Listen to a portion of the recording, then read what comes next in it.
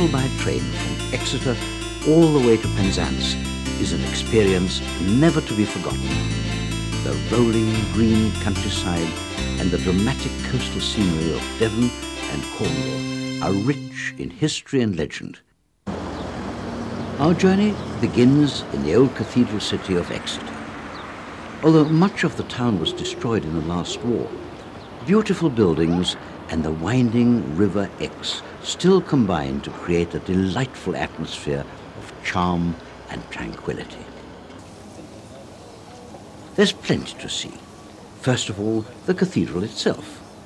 The exterior is stunning, and the carvings which adorn the west facade are considered to be amongst the finest medieval stonework to have survived. The cathedral was built during the 13th and 14th centuries, and the west window displays the delicate touch which was typical of this period. The cathedral close is a delightful part of the city. The leafy green is surrounded by rows of shops whose frontage represents a bewildering variety of architectural styles.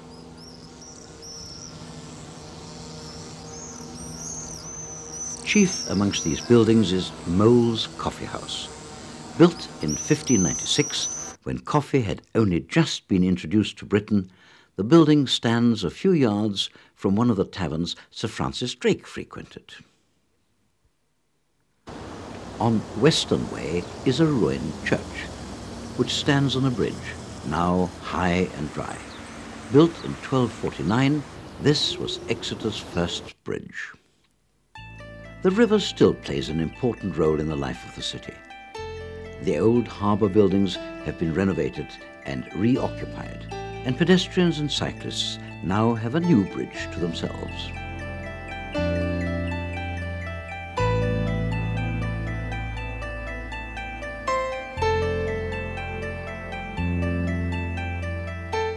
If you love messing about in boats, regular trips are available along the river and canal. But even if you prefer to stay out of the water, you shouldn't miss the Maritime Museum.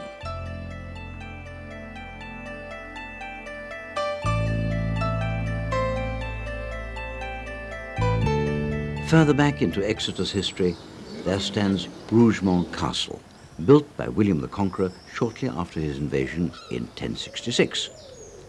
What little remains of the castle itself is now the county court, but the surrounding grounds and gardens have their own majesty.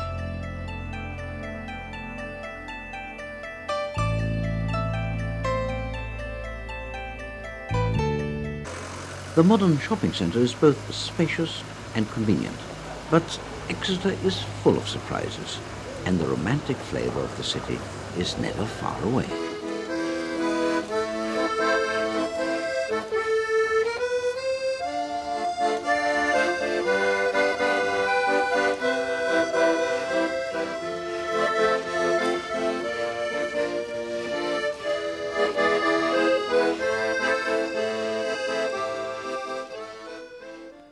It's time to leave Exeter now, and from St David's Station we begin our journey by rail through Devon and on into Cornwall.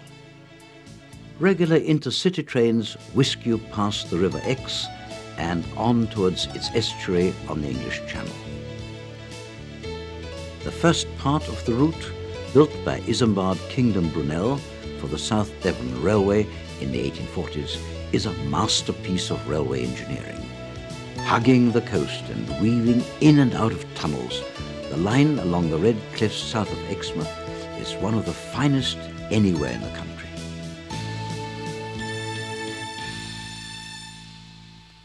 Our first stop at a station which backs right onto the beach is at Dawlish.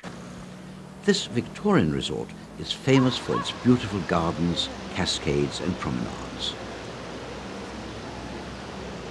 It's not only the town's emblem, the black swan, which seems to be perfectly at home. Palm trees also flourish here. From high up on Lea Mount, just to the south of the town, you can watch day trippers and fishermen tending their boats. From the same spot, there's also a splendid bird's eye view of the line and the coast.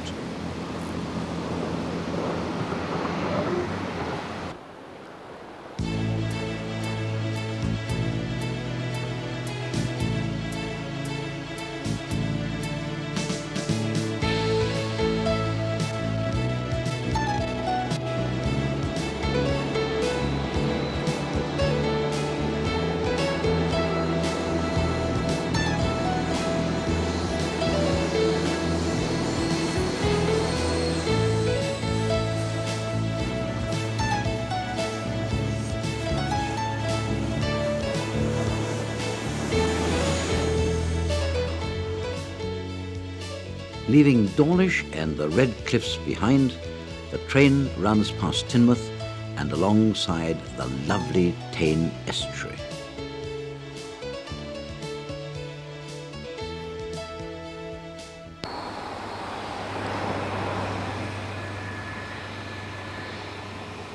Here at the end of British Rail's branch line to Paignton is the popular resort of Tor Bay.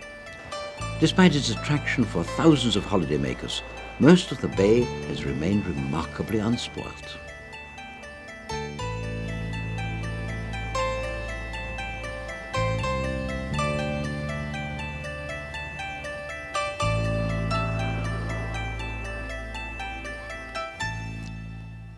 Paignton itself is a typical British holiday resort. Hotels line the promenade, which looks out onto the expanse of Tor Bay.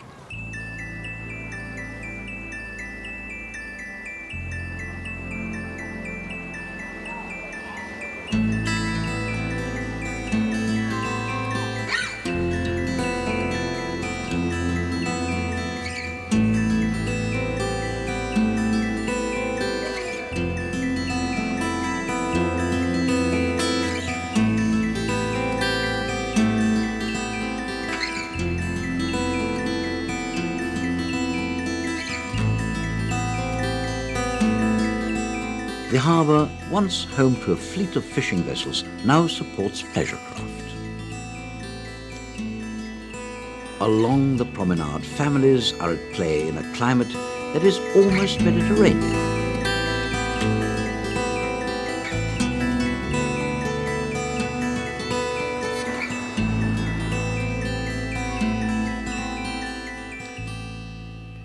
The Festival Theatre plays host to professional entertainers while opposite, gardeners are kept busy in the many acres of park that line the seafront.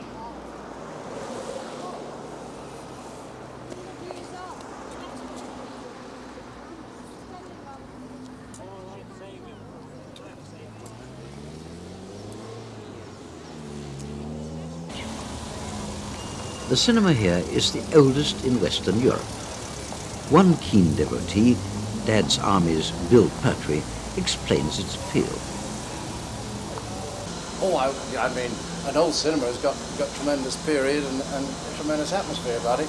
And it doesn't matter if you've got a good film and you've got a good cinema, then really you've got, got the tops in both, haven't you? I mean, it's lovely inside. Those beautiful gargoyles uh, across the, the, top of the auditoriums.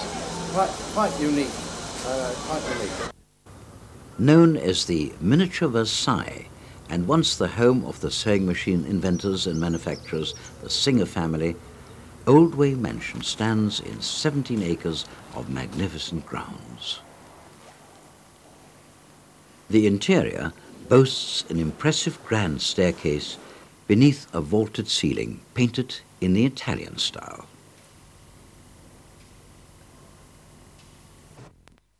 Dating from a much earlier period is Paignton Castle on Tower Road.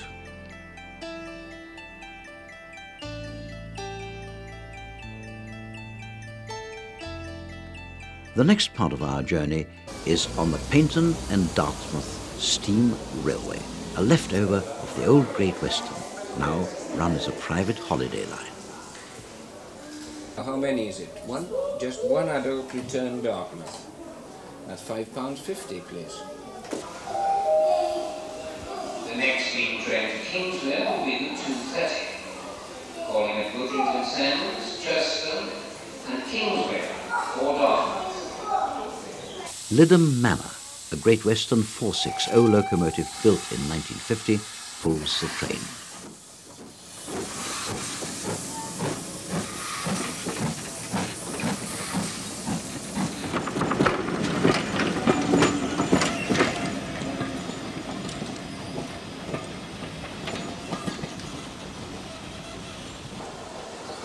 Just a short distance away is Goodrington Sands, a totally self-contained beach resort.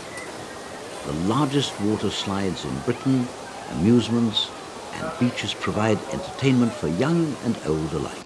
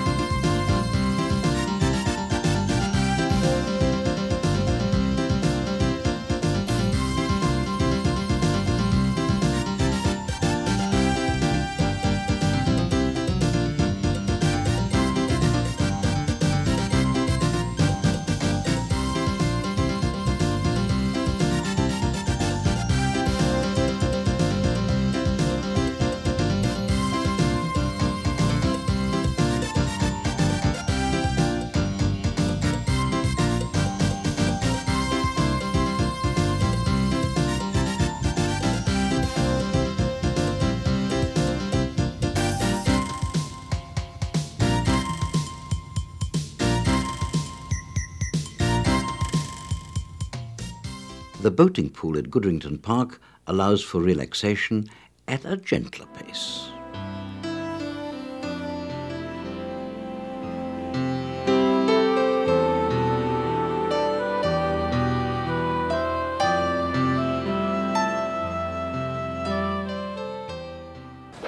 The steam railway heads for Kingswear along another impressive stretch of line with a Pullman observation coach providing the best views of the scenery.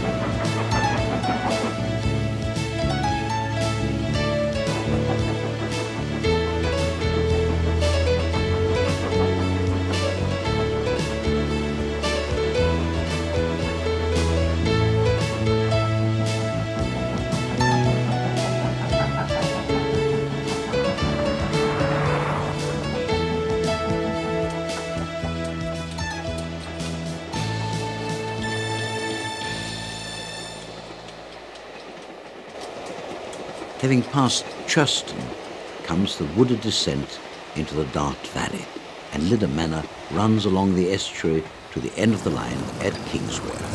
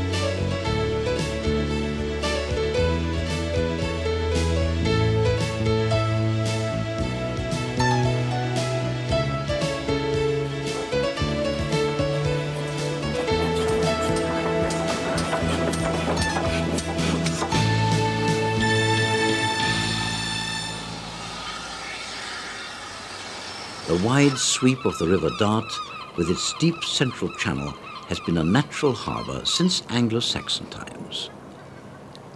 By the Middle Ages, the export of wool and grain to the Atlantic harbours of Europe furnished the port with good trade. In 1147, crusades to the Holy Land set sail from these waters, and 200 years later, the port was attacked by the French in the Hundred Years' War. The fortifications at the river mouth played an important role in defending the port. Today, Kingswear is no longer a trading centre, and it's mainly pleasure craft which cruise the safe waters of the river mouth. The next stage of our journey is by boat. But first, we cross the River Dart to have a brief look around Dartmouth.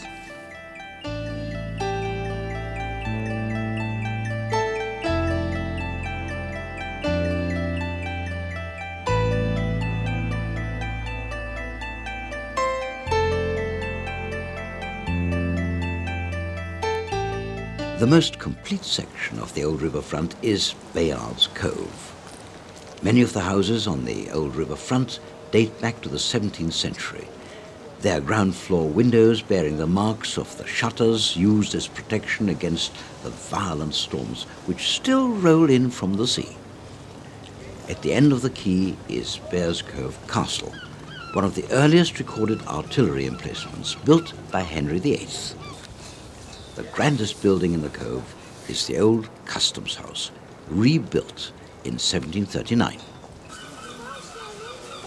Moving through the narrow streets where the buildings lean at odd angles, almost touching at the eaves, we arrive at the central point of the quay.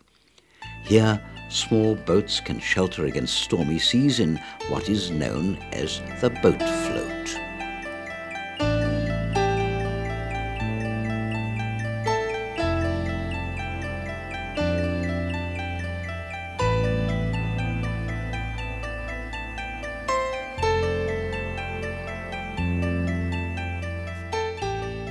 Of the old port was built on reclaimed land in the 16th century, and Duke Street has perhaps the most famous of Dartmouth's houses, known as the Butterwalk.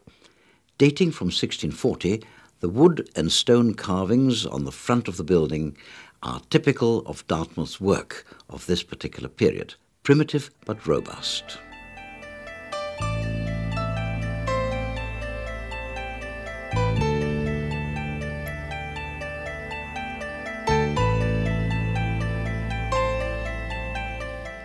Dartmouth has a long tradition as a naval port.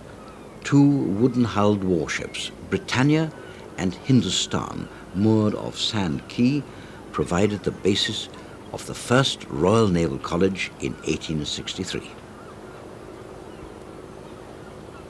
A more permanent building designed by Sir Aston Webb, the architect responsible for the Victoria and Albert Museum and the Admiralty Arch in London, was erected on a hill overlooking the river in 1905. Many famous people, including members of the royal family, have attended the college throughout its history. Here, on the quayside, riverboat companies capitalize on the area's fastest growing industry, tourism.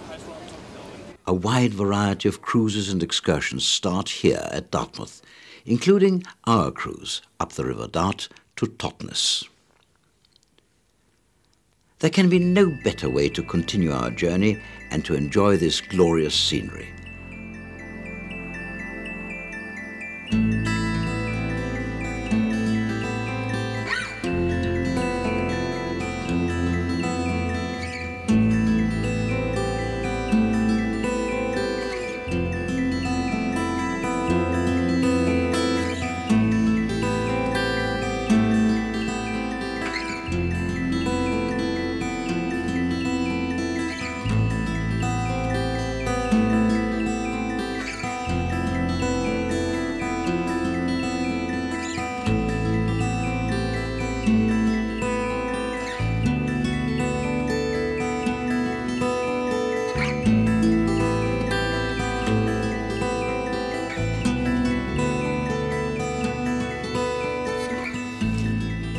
Upriver, and through the trees, a brief glimpse of Agatha Christie's home, now owned by her daughter.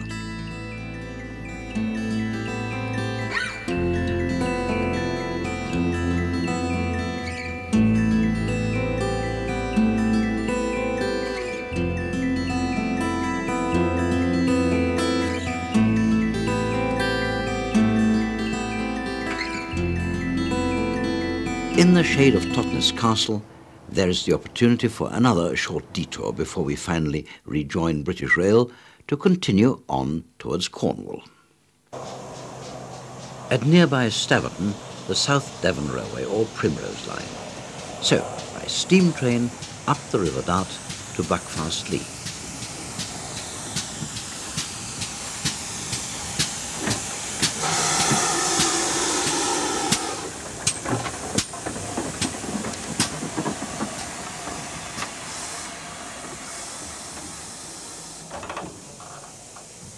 Most people have a soft spot for uh, steam trains, and uh, that's what brings the majority of our visitors to see us. And coupled with the steam trains, we've got some of the most beautiful country scenery um, that there is in Devon.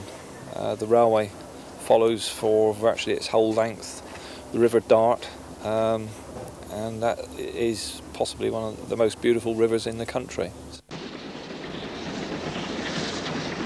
The approach to Buckfastleigh is also the approach to Dartmoor, and both have a great deal to offer.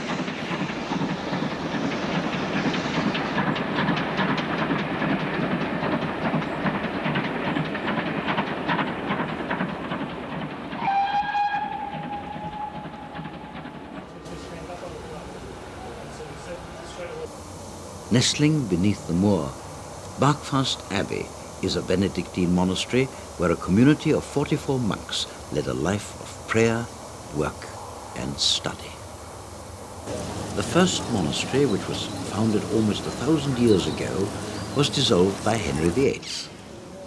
Monks returned to the abbey in 1822, and between 1906 and 1938 they rebuilt the church. Today, the Abbey contains examples of some of the finest ecclesiastical craftsmanship in the country.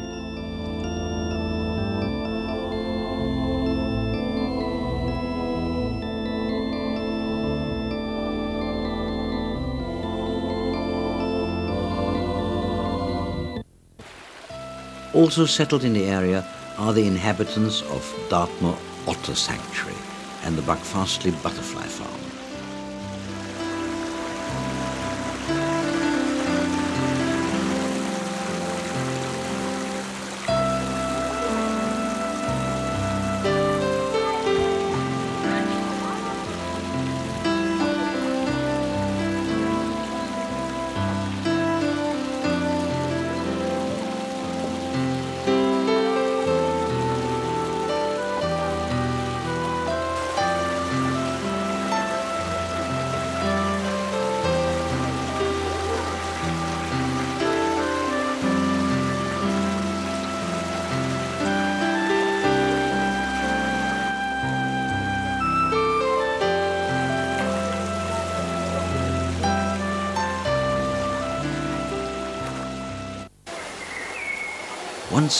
Inside the glasshouse, it's hard to believe you're not deep in the jungle.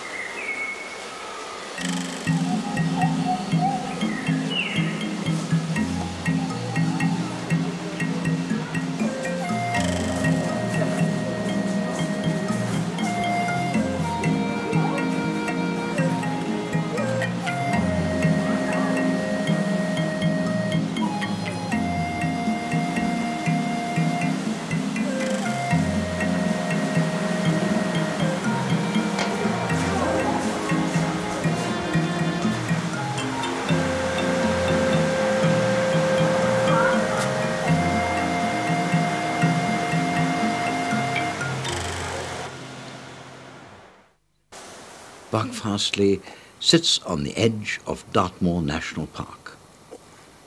Famous for its ponies, it's wild and beautiful. And for a while, it's possible to share a moment of peace and tranquility with these beautiful creatures.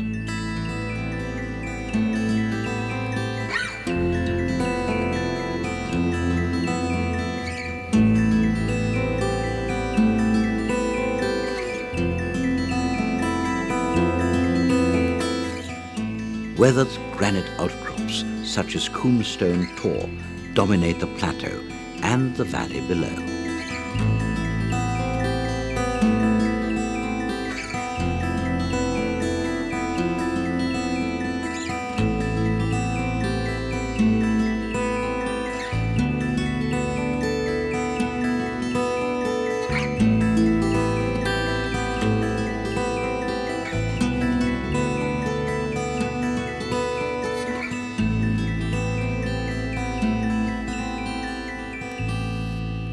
Down in the valleys are peaceful nooks and crannies, which are every bit as delightful. The meeting of the East and West River Darts has become a popular picnic area.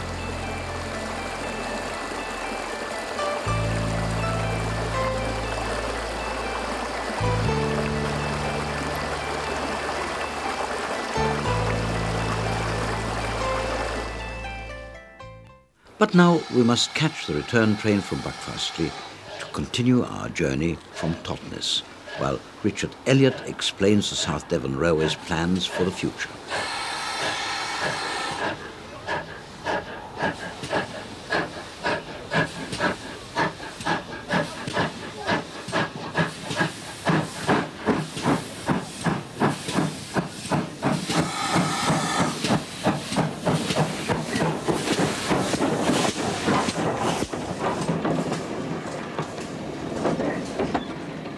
We are planning a cable stayed footbridge over the uh, river at uh, Totnes, which is about 196 foot long. It's going to cost us £100,000, but it will enable all our passengers to walk over the bridge and to reach Totnes town and the British Railway station.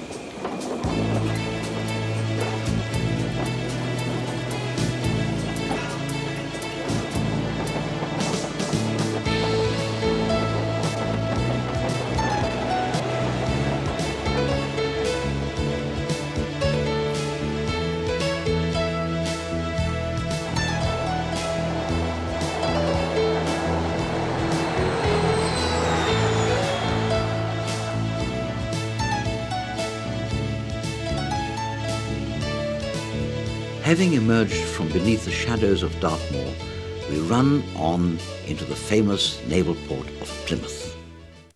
Plymouth's connections with the Navy go back to before the Armada, and the town and nearby naval yards at Devonport sit astride the wide mouth of the River Tamar. Smeaton's Tower was moved from the treacherous Eddystone rocks and rebuilt here on the Hoe in 1882.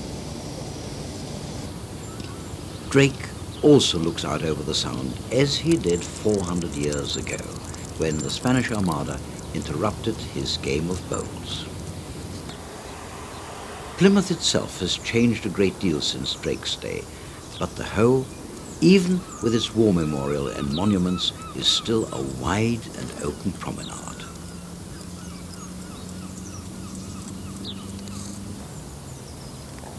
Nearby is the Plymouth Dome, an award-winning centre which can take you on an extraordinary journey through time, from the sights and smells of Elizabethan Plymouth, through the tragic devastation wrought by the Blitz, right up to the latest harbour technology.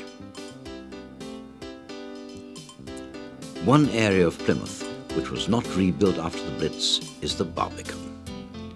Here, the Mayflower steps commemorate the departure of the Pilgrim Fathers as they set out to colonize the new world of America in 1620.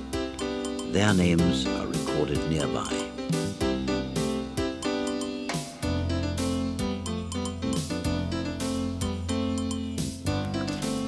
As the old town, the Barbican is now fashionable and full of colorful restaurants and pubs.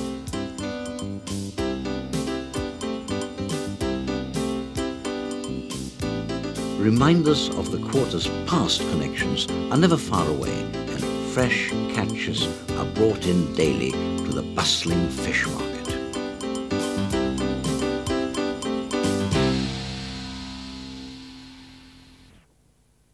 Plymouth's modern shopping centre brings us back to the present.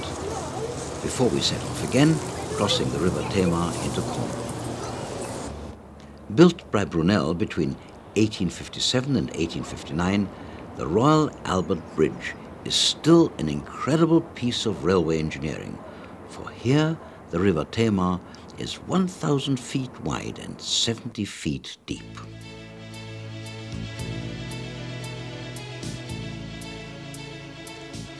Complementing the bridge are the views out over the dockyards and Plymouth Sound.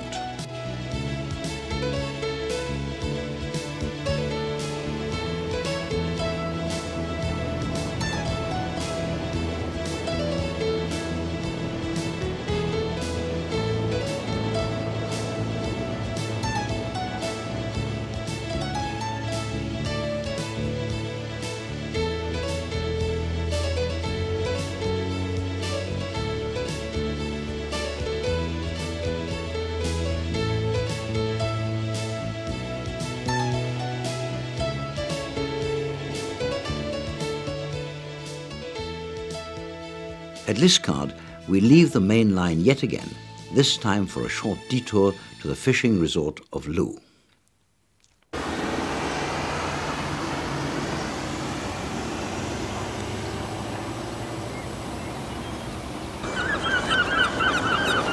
Just behind the busy harbour where gulls clamour for fish are the town's charming narrow streets. Whitewashed cottages, shops, restaurants and pubs all shelter here.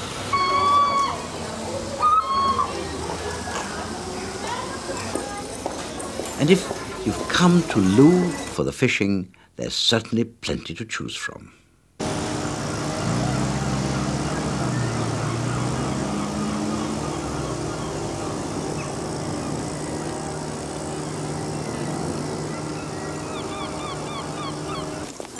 A short distance away in the woods overlooking Looe Bay is the Monkey Sanctuary.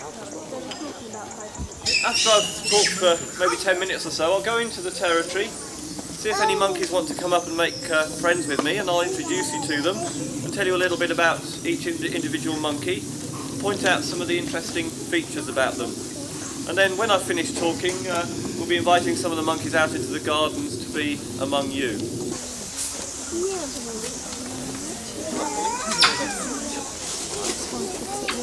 Well, uh, I'll just introduce you to one or two of these monkeys. This one here is Chico. He's a young boy, he's about three and a half. The sanctuary was established in 1964 so that woolly monkeys rescued from lives of isolation in zoos or as pets could live in as natural a community as possible. The sanctuary is the first place where this beautiful species has survived and bred successfully outside its own habitat of the Amazonian rainforest.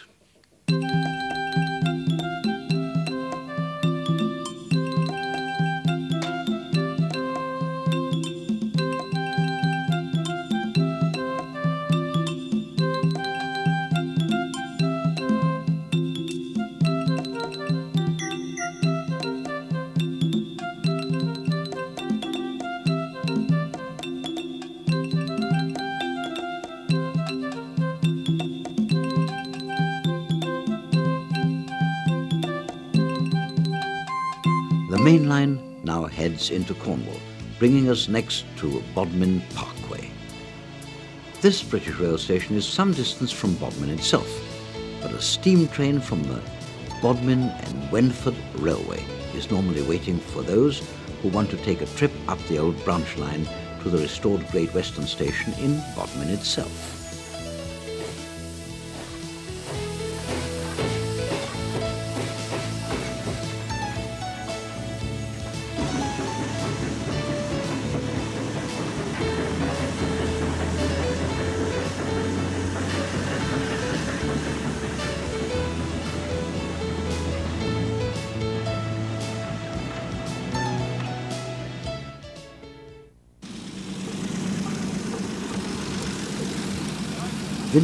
Transport of another kind will take you in style to the gates of nearby Lanhydrock House, arguably the finest country house in the region. This splendid example of 17th century provincial architecture is surrounded by beautiful gardens and set within a vast expanse of landscape parkland. Behind the house, a small Gothic church looks down on the gardens. A short walk behind the church gives a bird's eye view of the whole estate.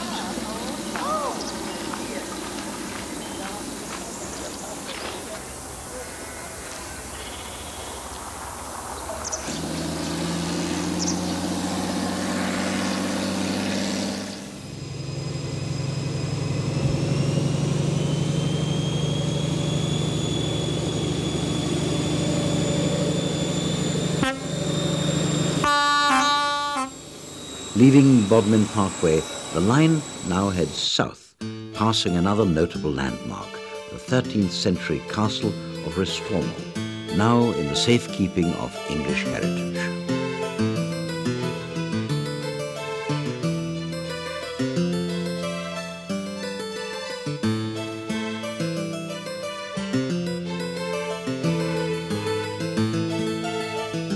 From high on the battlements, a look down on the valley and the trains below, speeding towards our next destination.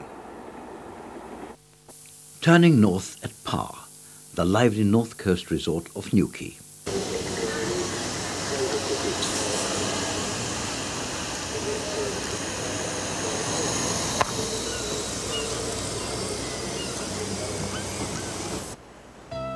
Here, tall cliffs are guarded by buildings which would be quite at home on the shores of the Mediterranean, while the town itself is perched high above the sea.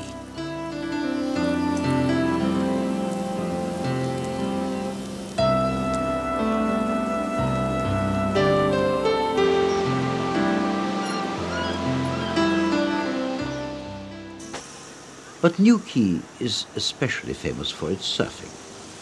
There are scores of shops which cater for the sport, and the famous Fistral Beach is a mecca for all surfers, with Atlantic rollers crashing down on the wide sweep of the beach, and each wave just made for riding.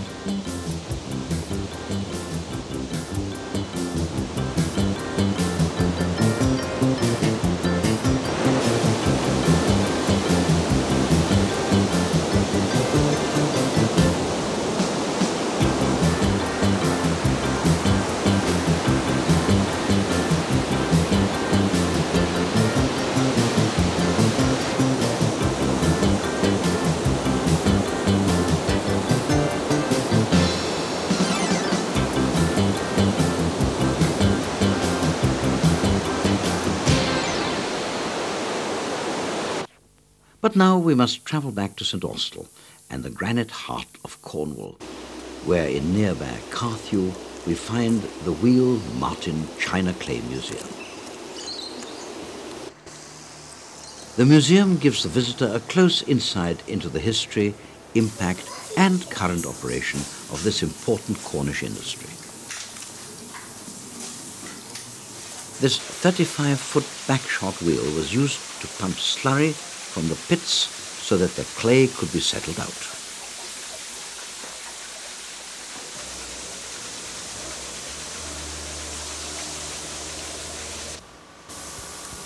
A wide range of industrial transport is featured on the history trail. And in the Rashley pottery, the visitor can buy some of the latest products of the industry.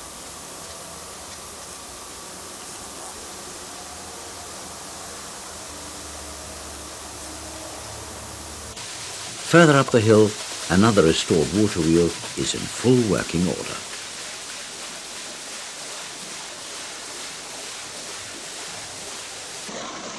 The alien landscape is the product of ongoing mining operations.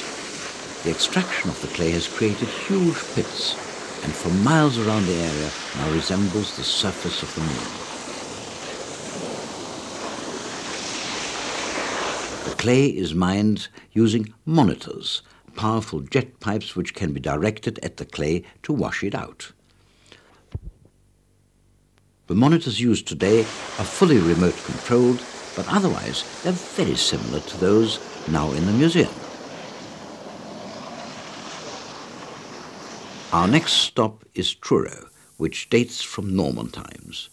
Truro was once an important harbour and the centre of the tin industry. Today the city is regarded as the capital of Cornwall.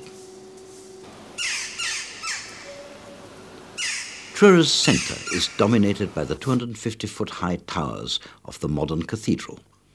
Although building did not begin until 1879, the cathedral has all the grace and impact of older medieval places of worship. Visitors are often surprised to find that the carvings above the west doorway feature Edward VII. It is well worth saving some time for the Royal Cornwall Museum, with its wealth of displays and information on the history and traditions of the city and the county. Beyond Truro, as the line passes Redruth, the high moor is dotted with the eerie remains of deserted tin mines.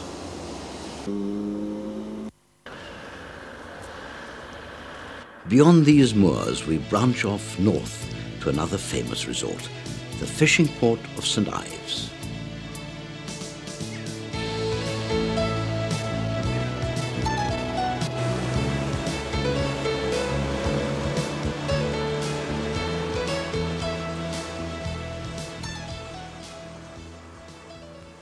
Since Victorian times, this tranquil bay has been a popular seaside retreat, and it still caters for a wide range of holidaymakers.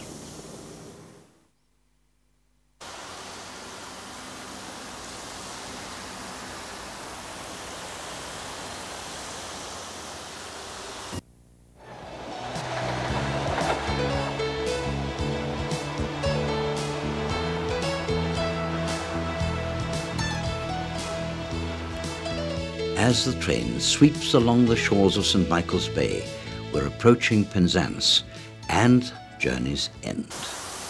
A few surprises still remain, and none can be more exciting than the first glimpse of St. Michael's Mount. This former monastery, perched on its coastal crag, is on an island joined by a causeway which is submerged at high tide.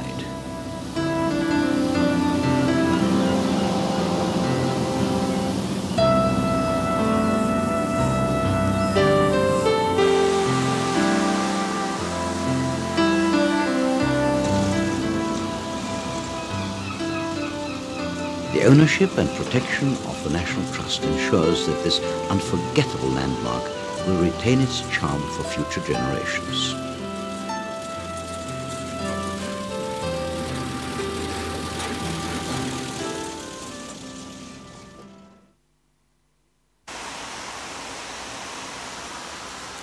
We finally arrive in Penzance. This busy port and market town is as far as we can travel by rail and it's Britain's most southerly railway station. The town, like most in Cornwall, has grown from its maritime associations, and you're never far from the sounds of the sea.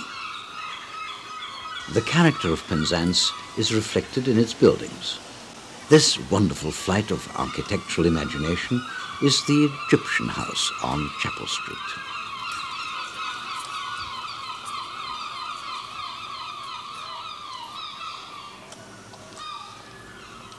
On the same street, Admiral Benbow's restaurant and the Maritime Museum are also worth a visit. To enter the Maritime Museum is to pass into another world.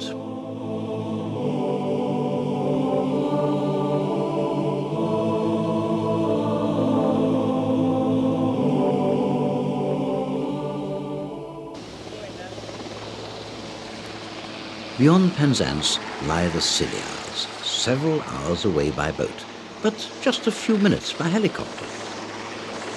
Closer to hand, there is still plenty to see. West Penwith is an area of wild beauty. Lanyon Quoit is about 4,000 years old and just one of the many Neolithic monuments in the area. Almost within walking distance is Land's End itself a rocky promontory has been developed into a busy entertainment complex with exhibitions, shops and play areas.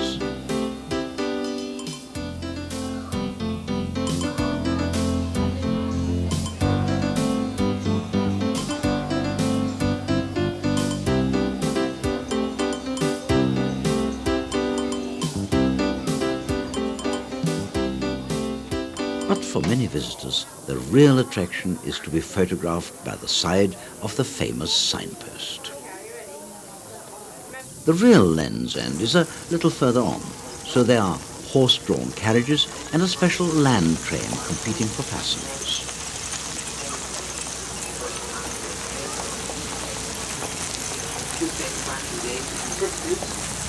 Also down here to the souvenir shop refreshments, soft drinks and ice cream.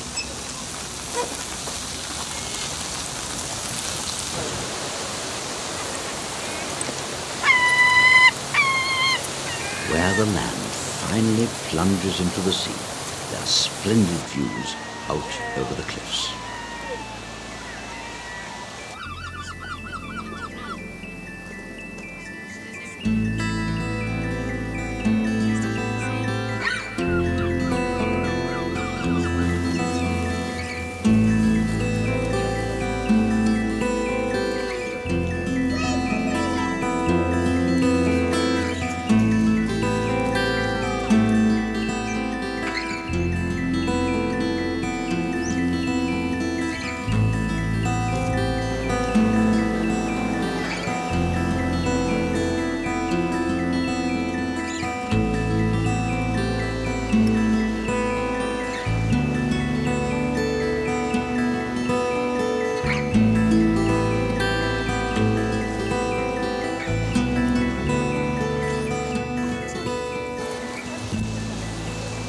Here at the end of Britain, you might be lucky enough to watch dolphins and porpoises playing at sea. Those with a little extra time to spend exploring the many beautiful beaches and coves will find ample reward.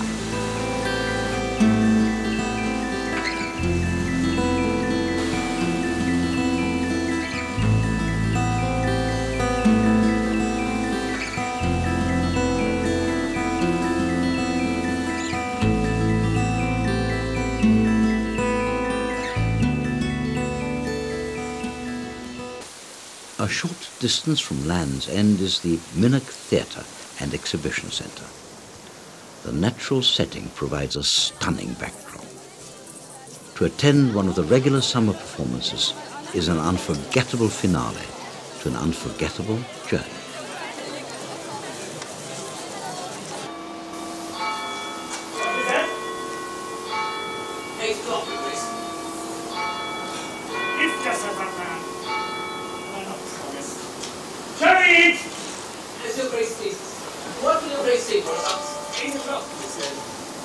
Tide will be changing. I was forgetting the tide, Father. I had to go. The king is not pleased with you. I am green. And yet you know that even now, if you could bring yourself to agree with the, the, the bishops, the universities, and the parliament of this realm, there is no honour His Majesty will be likely to refuse you. Oh, and who are you, damn it? This is disproportionate. We're supposed to be the proud ones. The proud, arrogant, and splenetic one. We've all given in. Why must you stand now? Thomas, you'll break my heart.